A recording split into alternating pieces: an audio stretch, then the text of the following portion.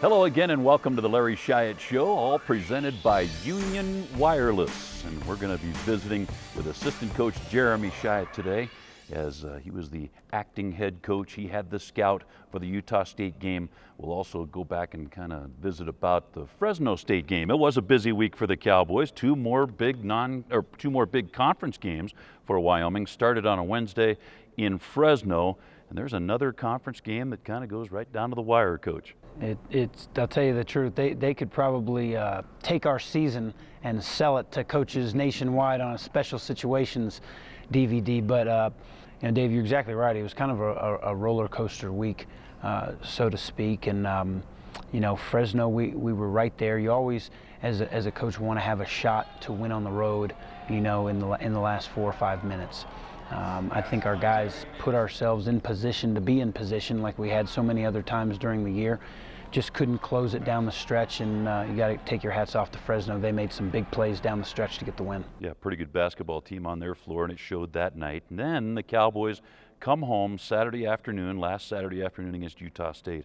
I thought this was a great game, and I'm, uh, I'm not so sure this might not have been the best the Cowboys have played, certainly from start to finish in conference play always leaning on that defense, outstanding Cowboy defense throughout, but the offense picked it up and it was a pretty good game for the Pokes, huh? Yeah, Dave, you know, I think it was probably our, our best 40 minutes where uh, of offense and defense. You know, we probably had better games offensively and possibly better games defensively, but just as a whole, uh, I thought the guys really had poise, especially to keep a lead. You know, I think Utah State on multiple times in the second half tried to uh, make a run and challenge us from an energy standpoint, uh, but our guys had a, had a great feel for the game, when to run some clock, when to attack, and always making the extra pass. It was so nice to see the Cowboys finish off a game. Uh, I thought they did so well with that. In the second half, the lead was up to 20 a number of times, and I thought the Cowboys just really finished strong. No, it, it, it did, and, and again, I think it was definitely a team effort. Um, 15 assists, uh, five turnovers the guys were not afraid to share the ball. We did we did a great job of giving everybody a touch, uh, and I think that that really gave the entire team confidence in order to, to, to, finish Utah State off and get the win. Yeah, big win for the Cowboys on Saturday, five and three in the Mountain West Conference, heading to New Mexico and Las Vegas. Well, stay with us. We have more to come on the Larry Shyatt Show, presented by Union Wireless. We're back with more after this.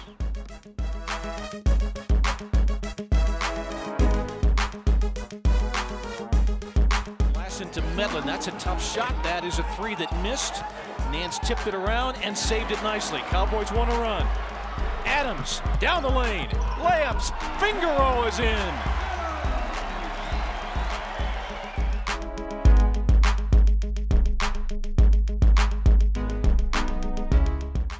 Smartphones. Your connection to the world. The possibilities are unlimited, and your plan should be too.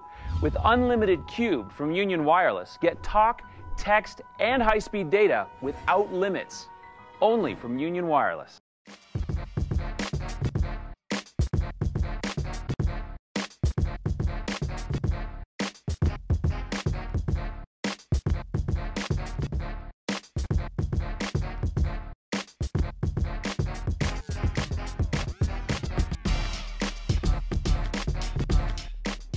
Welcome back everybody. Our special guest today, Derek Cooke Jr., we'll call him DC. Um, Derek, I know this is uh, a good day to talk because you had a heck of a game the other night against Utah State and had to be a real confidence builder for you. Yeah, it was a big confidence builder just for me, just because lately I haven't been playing as much because the coaches, have, we've been going against like smaller teams, so the coaches thought it would just be best to have a smaller lineup, and so I haven't been playing as much. So it's kind of been like attacking my confidence a little bit, but the coaches just told me to keep my head. My time will come, and like against Utah State, it happened. Of course, um, you're pretty much new to the game of basketball. You were a football guy, uh, and, and, talk a little bit about uh, the decision to play basketball rather than football. Well, I mean, in high school, I mean, I played football for like two of my years. I think one year I was injured, so I couldn't play that year. And then my senior year of high school, I, the, the, coach wanted me to try out for basketball, so uh, I tried out. But little did I know, he brought back like 12 of his guys, so it was like two spots left. so I didn't make the uh, roster or whatever. It's a funny story, actually. just because like I, I like gave it my all, and I didn't notice that like we were going with 20 guys and they're all competing for two spots. so then like um, after high school was done, I was pretty small. Was 6'3", 6'4", really like skinny, like 155, 165 probably at most. And uh, I didn't have any scholarships, of course. I was like a subpar player. I wasn't like the best receiver on the team. And we had a guy like Alex Blake, who's our main go-to guy. And like, so I wasn't looking to go anywhere for football. So college was the next step, but I didn't have the money for it. So that's why I took a year off to work two jobs. And then within that year is when like the growth spurt happened. And then got a call up from one of my friends to uh, come play basketball. And then like this guy named Sean Thompson was there. He's like, have I ever thought about playing college ball? told him not really just because I don't like basketball. and uh, he's like, yeah, well, if you uh, if you work with me and you uh, show me that you care about it, I can probably get it like something going for you. And then like he gets me into this workout with uh, Coach Eschbach for Cloud County, who was like recruiting a guy named Devon Branch. And like I came to this workout, he seen my athleticism and he was more so saying, I can give this kid a, a chance to get off the streets just like he was going to redshirt me. I didn't know he was going to redshirt me. And then like when I get to the junior college in Kansas, is when I knew I was going to redshirt, and it's like the hardest year of my life. Mm-hmm. And then so having the basketball dream. And here you are. What's been uh, the biggest adjustment for you? Uh, certainly, you're trying to learn the game, but what, as, what kind of adjustment has it been for you? Well, one, just seeing things as they happen. Like it's easy to like talk to, talk to somebody about basketball, but when you're in the act, it's hard to like see certain screens, certain actions, and then have to be able to call it and then just play around it. And another thing for me has been fatigue. Just because, like in football, you, you go by downs. You run your sprint, you run your you run your route, and you can get subbed out. Basketball, you're constantly going back and forth, back and forth, unless a foul happens or a timeout is called. Cowboys um, have have done very well in conference play, obviously, and uh, we're going to hear a scouting report here shortly. But uh, this is a tough week coming up for the Pokes. Yeah, we got uh, New Mexico. That's the only thing we're worried about right now, just because New Mexico is the next game. So we have to worry about in practice today and tomorrow, like what we can do for the game Wednesday. I know you're really proud about your academic side, and uh, you're a double major.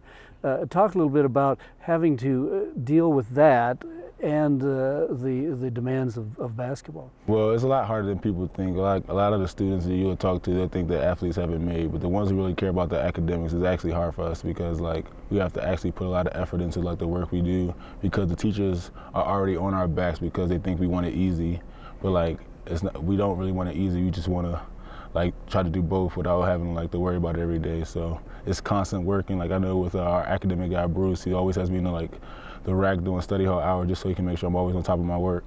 Now, what are you majoring in, and what would you like to do with that double major once you're done? Well, I'm double majoring in psychology and social sciences. Uh, my main goal right now is that if basketball doesn't work out, I love working with kids, so I plan on going home, maybe going to like a youth center or something, and just working with like troubled kids who aren't really given a second chance. Well, very special guy right here. We're glad he uh, chose basketball after all. Derek Cooke Jr. Why don't you all stay with us? Dave will be right back with a scouting report on New Mexico and UNLV. When you book at flyfrontier.com, you get great stuff. Like exclusive fares, more miles, a free carry-on. You even get to pick your seat. And everyone likes to pick their seat. I know I do. Once I picked my seat right smack dab in the middle of... Stop! Grizz, we're talking about picking your seat on the plane. Wait, you pick your seat on the plane? Now that's disgusting. Get more perks, lower fees, and a free carry-on. Book today at flyfrontier.com.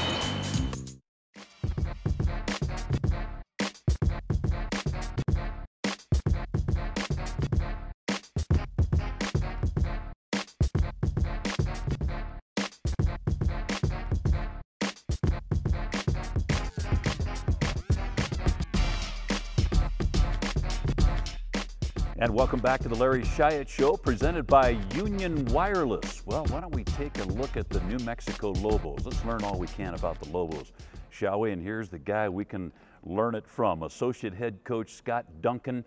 He has the scout for the New Mexico Lobos on Wednesday night. Well, we've seen the Lobos. We know a little bit about them. Had them right here on this floor. Uh, took them to overtime. That was a great game. Uh, didn't turn out the way you wanted. But what about New Mexico now? Anything different about these Lobos since we saw them last, Coach? Well, I think they uh, definitely have improved. Uh, they got better when Kirk went out and missed uh, three games. It allowed guys like Greenwood, Delaney, Thomas to all contribute more. and they played a huge part in their wins. Um, you know, Kirk didn't play at Colorado State, hard place to play at. Greenwood uh, is terrific in that game. Delaney is terrific in that game. Then they go to Utah State, one of the tougher places to play in our conference and um, you know beat them pretty handily at Utah State. So they are playing with a great deal of confidence now that Kirk is back. Uh, started again Saturday, had a great game, a double-double Saturday, and they beat uh, San Jose pretty handily. So, you know, this is a team that uh, plays terrific, as we all know, at home. Uh, they have the best crowd in the conference, uh, and they're playing at a very, very, very high level. I think the first of two very difficult road venues for the Cowboys this week, but the pit is a special place. I, I don't know if, uh, if folks have not had the chance to catch a game live in the pit. It's kind of a special experience. Tough place for the Cowboys to go try and beat a good New Mexico team. But what a venue this is. Oh, it's a great venue. And I, I really think our guys love playing in great venues. You know, New Mexico sold out, uh, San Diego State sold out, Vegas sold out, Colorado State usually is sold out when we play them. Uh, Utah State now is a place that is a sellout on most Mountain West games. So our players enjoy that. They enjoy playing in front of a lot of people. So uh, don't think the crowd will be nearly as much of a factor uh, as the players are for the Lobos. Yeah, well, there's a little bit on the New Mexico Lobos. And again, the Cowboys and New Mexico Wednesday night, 9 p.m. Mountain Time is the tap time for that game, the Cowboys against New Mexico. Stay with us. We have more to come. We'll come back and take a look at the Nevada Las Vegas Running Rebels right after this.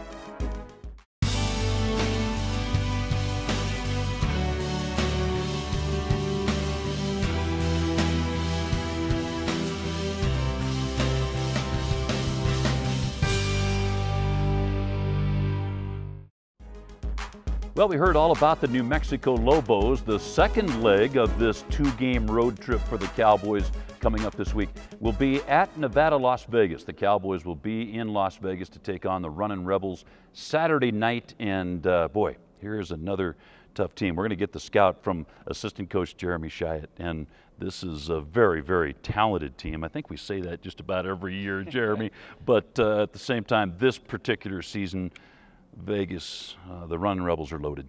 They're definitely running, and that's for sure. Um, you know, UNLV is a terrific team.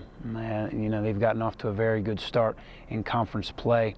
Uh, and, and, again, it, like you talked about, Dave, it's no different than the last couple years.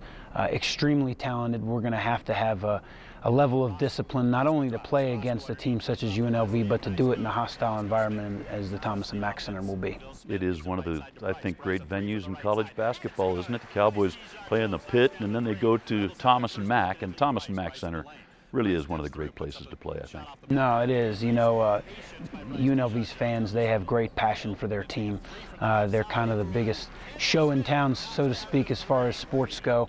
Uh, and, and, and, their fans do a great job of getting their guys fired up. It's definitely going to be, you know, a game where there'll be a lot of emotion at the beginning of the game, and then and then hopefully as the game wears on, the emotion will fade, and you know our habits can kind of kick in, and we can stay connected and together. Well, yeah, tough place to play, tough place to get a win, certainly. But this Cowboy team has reacted to the road very, very well, especially here in conference play. Good road outfit, this, these Cowboys.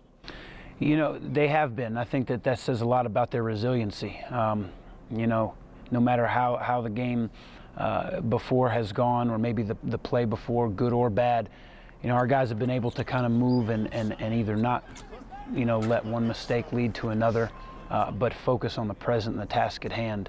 And uh, especially in a, in a game such as UNLV, where I'm sure there's going to be lots of runs made by both teams, that's going to be important in order for them to keep their composure on the road. Yeah, really will be. So a big week for the Cowboys both on the road Wednesday night at Albuquerque, at New Mexico in Albuquerque. That's a 9 p.m. Mountain Time tap time, by the way. Then on Saturday night, the Cowboys at Nevada, Las Vegas, 8 p.m. The tip off, Mountain Time for the Cowboys and the Running Rebels. Well, that's going to do it for us here on the Larry Shyatt Show, presented by Union Wireless.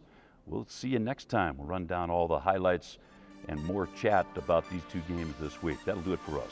So long, everybody.